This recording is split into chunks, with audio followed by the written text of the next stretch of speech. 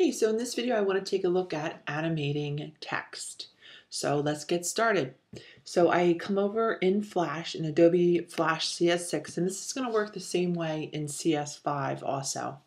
But I can come on over, I can grab my T for type. Now, I have two different options. I have my TLF and my classic text. I'm going to work with my TLF text.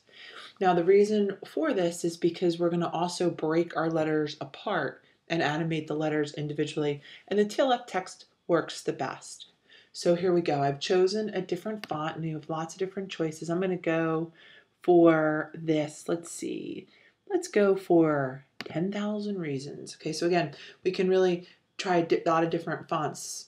Uh, I have my color set at blue, and I am going to write my word and my word is animate. Now, here is my size of it. I can grab my free transform tool, make it a little bit smaller, move it on over, and there it is. Now, what happens in um, Flash is Flash recognizes this as type.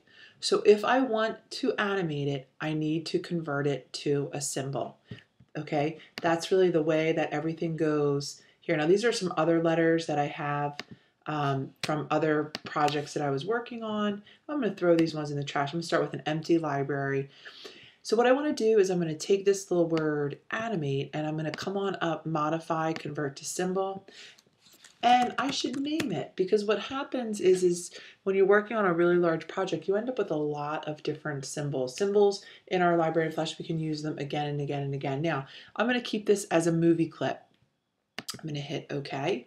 And there we have it. Now it is no longer type. I could not come in if I spelled something wrong and change this around because it does, as you can see, as I come to my properties panel and I click it, um, it is, it's an object now. All right, so now it's an object that we can animate. So I'm gonna come on in, my first step, come to frame 60. I'm gonna insert my frames. I have my frames. I'm gonna come on back to here. I'm gonna insert my motion tween. And I'm going to start, let's see, how should we start? We'll, we'll start, we'll make it, we'll begin, we'll work with the size. In frame one, it's going to be small. Okay, I'm going to come to frame 30. I'm going to click back on this guy right here. Now, if I want something to happen, whenever you want something to happen, I'm going to insert a keyframe right here. So Flash knows, okay, there's something happening here. And I'm going to take my free transform in here and I'm going to make it stretch out, stretch up. Okay, I'm going to come to, maybe let's make it bigger, why not? If I hold down the side, shift, if you hold down shift and pull it a corner, you'll get it to move the same way. I'm going to come into frame 50. I'm going to insert another keyframe, insert timeline keyframe, all right, I could grab this now, flip it around, come to frame 60, insert timeline keyframe, and maybe move it out. All right, so let's play it and let's see what happens. Come start at the beginning, and here I can just hit play, and animate, Okay, there we have it. There is our first little instance. Now, let's say that I wanted to animate these letters, these letters separately. Well, how would I go about doing that? Well, I could do that very easily. All I want to do is I'm going to click off of here and I'm going to actually create a new layer. So what we want to do with our different motion tweens is really we're going to end up separating um, each tween into its own layer. So I'm going to create a new layer. Um, and if I wanted to, you know, I could come on in, I could start my I could start my animation right in here. But for right now, I'm going to move this, I'm going to start it right here. And then I will, or better yet, I'll, I'll start right here. I might have to move things around in a minute. All right, so let me name this so I know what is what. A big part of working on our projects is to keep ourselves organized. All right, and we're going to come on in right into here. And I'm going to put break. Because right, we're going to look at how do we have these break apart. Well, when we're in T, when we are in TLF text, let's say that I wanted to animate each letter separately, all I would do was click on this. I could um, come on up to modify and hit break apart and now they are all separate drawing objects. They're all separate drawing objects. Now, what I need to do once I break them apart, they're still moving, is I need to then come in and convert each one to a symbol. Okay, so how would I go about doing that? I can see this one back to frame one. I'll have to move it in a minute. All right, so I'd come on up, modify, convert to symbol. Dun, dun, dun, dun. I'll make this the letter K. Click OK. Click off. A. Modify. Convert to symbol. A. OK. Click onto this one. Modify. Convert to symbol. I'll make this one the letter A. OK. Click onto my letter R. Modify. Convert to symbol. R.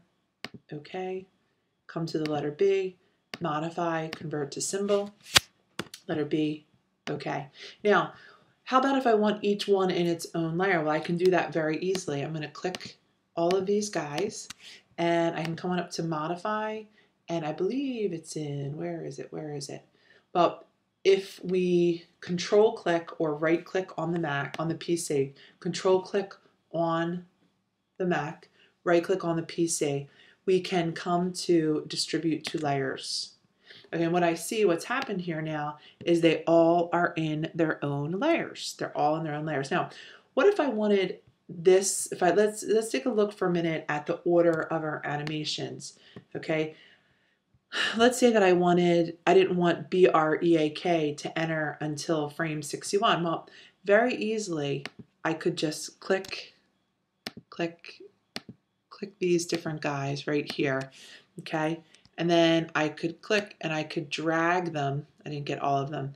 I could drag them, that keyframe, and bring it right to there. And now I can see that they're all there. All right, let me take this one. So again, it's all about where you click and drag. We want to click onto that keyframe and we can just drag it right to frame 61. I'm going to get rid of layer 2. Don't need that one. I'm going to delete that. Um, and now what you see happen, see how this one disappeared? The reason why it disappeared is because um, in this frame it no longer is there. Now I had it left the stage, so that's actually really fine. Next thing I want to do, and you may already know, um, is I want to insert my frames. Okay, so I'm going to come to, why not, we'll come to frame 120. And again, if I want to insert multiple frames, I can click, click all the way down to the letter K up and I have the animate too. Well, actually, let's see. Again, we need to hold down our shift. So I'll come to insert timeline frames. Okay, great. Up, oh, missed my K. So I'm going to click right into here, insert timeline frame. Excellent. All right, so now I want to go about creating my animations. So I click right into here. I'll start with my letter B, insert motion tween. And let's see, let's see if we click, we can come into insert, motion tween. All right, so now I have motion tweens in all of them. All right, so I can come in right in here. Um, I could click, let's see if we can click multiple keyframes. Nope. All right, so we're gonna have to do our keyframes separately. Insert timeline keyframe. All right, so maybe I want to take this, bring it up into there. Okay, maybe I want to um, have this one come into frame 95, insert timeline keyframe. Oops.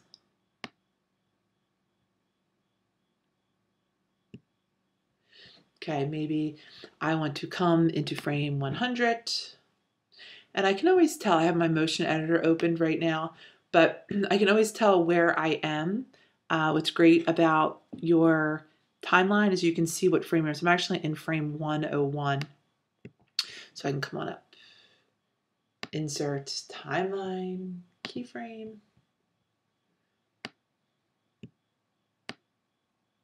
I could even come on in, grab this guy.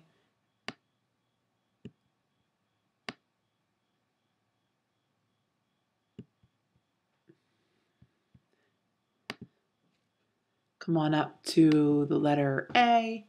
Again, insert timeline keyframe. I think you get the idea. There's lots and lots and lots of possibilities. Lots of possibilities. We could come on up to A.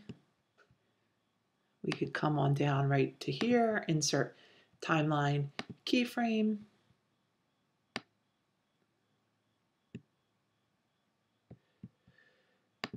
We want to grab them again, we'll bring them back down.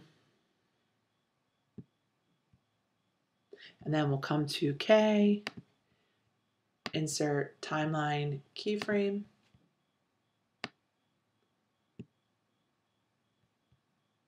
And let's do one more and see how it looks. And then again, we can come on in and work with stuff a little bit more, insert timeline keyframe, and we could come on in right into here.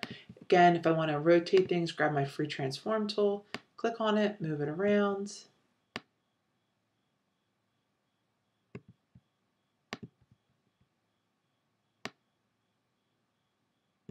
All right, let's start at the beginning, see where we are with everything, and we can hit play.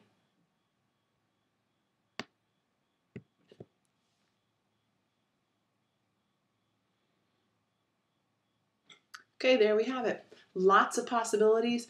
We can come on in, we can even we can work with our color effect, we can work with the positioning, we can add filters. So there's lots of different things that you can do. And I'll end there. Thanks for listening.